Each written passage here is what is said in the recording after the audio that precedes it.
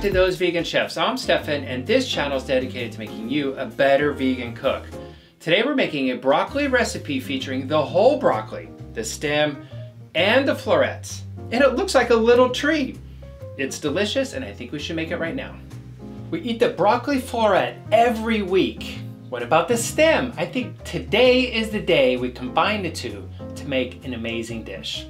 The first step in the broccoli is looking at the broccoli stem and trying to decide how we could cut this into thirds with keeping the florets and the stem attached. So we could kind of see how we have like this natural line happening there, kind of marking it with my knife. We have another natural line happening right there. So we're just gonna start to follow those lines and actually peel, not peel, but push cauliflower back a little bit. Did I say cauliflower? It's broccoli, people. there we go. We're gonna cut the next portion of broccoli. Got it right that time, everybody. That's right.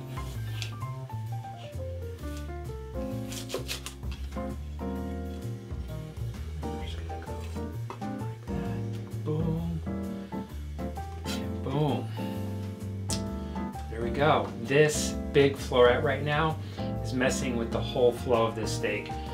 So we're just gonna trim it off.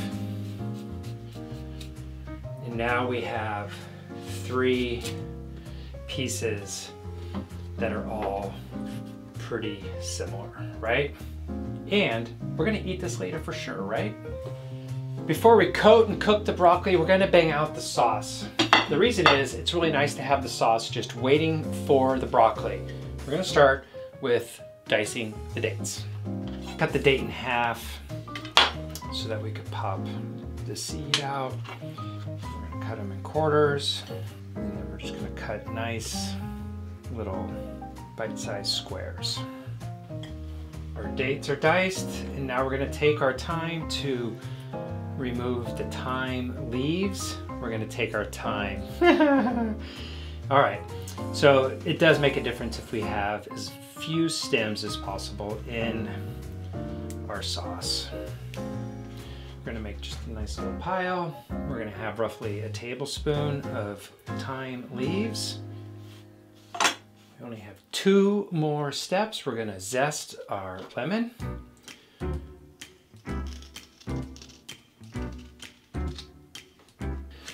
Bring our pan up to medium heat. We're gonna add a couple tablespoons of our garlic confit oil. Garlic confit oil is nice and toasty. We're gonna add our walnut pieces. You can smell the toasting of the walnuts. And basically we'll wanna get them about halfway because we're gonna add other ingredients to this to toast. We're gonna add our dates next. We're gonna lightly toast and candy the dates and the golden raisins. Beautiful. We're gonna add our lemon zest. I love how the raisins start to poof up. It's so cool. We're gonna reduce the heat just a little bit more.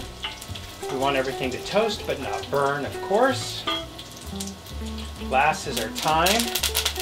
Woo! Pop it. Yeah, love it. We're gonna season with a little bit of salt.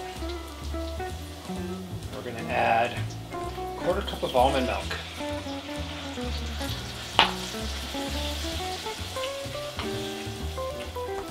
We're gonna turn the heat back on low. We're gonna just let the almond milk reduce just a touch. Our garlic confit goes in after we've turned off the heat. Is up to you a little bit. I like to add enough so that when we spread this on the plate, everybody could get some garlic confit. It's okay to get the rest of that oil in there and incorporate the garlic confit. I'm telling you right now, this little vinaigrette is fire. It smells so good. We're gonna adjust the acid levels. Beautiful walnut garlic confit vinaigrette is finished. It's time we make our coating for the broccoli. We're gonna start with the wet. We're gonna add three tablespoons tapioca flour, two tablespoons tapioca flour, three tablespoons plant milk. We might need a touch more of plant milk. The liquid needs to be very thick. And I'm using a plate for a very specific reason, which we will discuss when we start our dredging. For the dry, we're starting with 3 quarters cup flour, quarter cup nutritional yeast, quarter cup panko breadcrumb, a couple dashes of pepper, and a generous amount of granulated garlic, nice pinch of salt. We're essentially gonna mix to incorporate. That's it. A little spicy, garlicky, kind of cheesy from the nutritional yeast, a little bit of texture from the panko. The first step in our dredging is, of course, we're gonna add it to the wet. And the reason I used this kind of shallow plate is I want to keep the broccoli florets out of the breadcrumbs and the wet.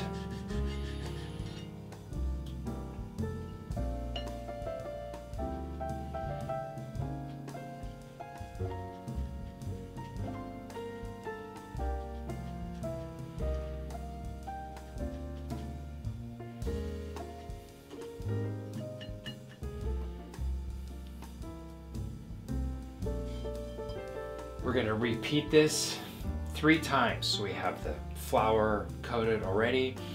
Quickly put it in.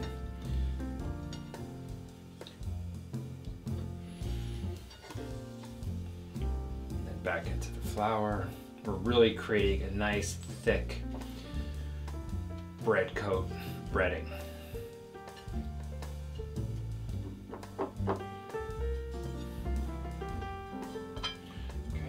Last time.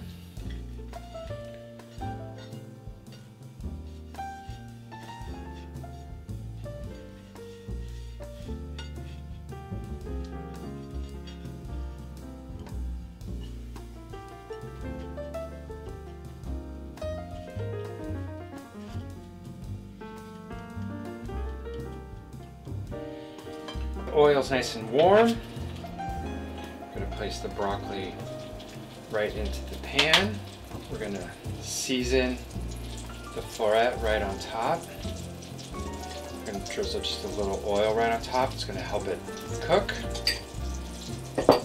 And we're gonna balance cooking it over medium heat so that the crust becomes crispy, the broccoli is tender and cooked. Ooh, look at that. Already hear the crispy crisp. Yeah, little charring on the broccoli, that looks amazing.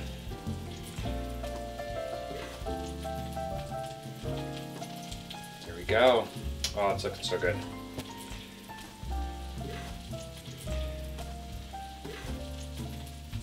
golden brown, delicious. Look at that. All right, we're gonna pull them out of the pan.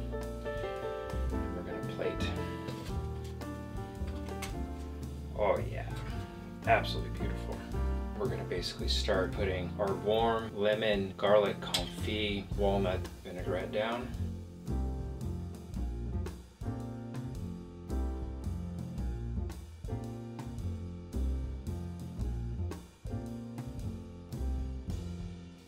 right on top. We're just gonna kind of drizzle that around. I'm gonna add some fresh thyme. Top.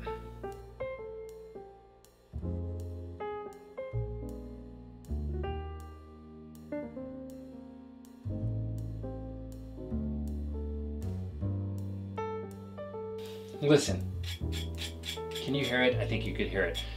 I absolutely love how this turned out. It's so crispy on the bottom. It's like creamy and yummy up, up on the top. I could totally picture like a platter of these, like 10 of them on a huge platter with the vinaigrette on the side and people just come along and grab like this huge portion of broccoli. How amazing is that? It's so amazing that I can't wait to take a bite. Mmm. Mmm. Mm-hmm. Okay, we're just gonna start off actually with the vinaigrette. That garlic confit, the lemon, the walnuts, the sweetness of the dates and raisins, so good. It's a great texture. And I love the fact it's crispy on the outside, but the tenderness of the stem, when you cook it just right, it's perfect. There's like a little bit of texture, a little bit of forgiveness. And then we all love our broccoli florets. That's just an easy one, right? What a fun dish to showcase a whole broccoli. As always, see you next week. Bye.